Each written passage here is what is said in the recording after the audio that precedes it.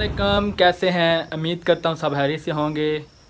तो आज नहायत ही अफसोस के साथ मैं आपको बताने जा रहा हूँ कि लबनान के शहर बराट में आज सुबह आज सुबह या रात को जो है ना बहुत ही ज़ोरदार जो धमाका हुआ है ब्लास्ट हुआ है उससे सैकड़ों लो, लोगों की डेथ हो चुकी है हज़ारों के हिसाब से लोग ज़ख्मी हैं। तो बहुत ही अफसोस हुआ है जी।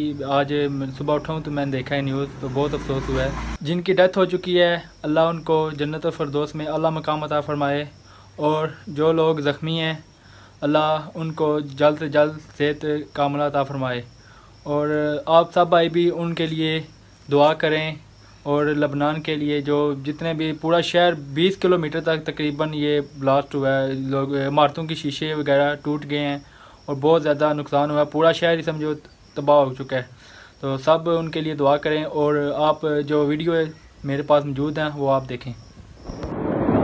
व्यूअर्स आपने वीडियो देखी है तो आप मुझे कमेंट बॉक्स में लाजमी बताएँ कि ये धमाका किस चीज़ की वजह से हो सकता है, एटमी बम है या किसी और वजह से है। तो अभी कंफर्म तो नहीं है, लेकिन जिस भाई को अगर कंफर्म पता है तो ये कमेंट बॉक्स में लाजमी बताए।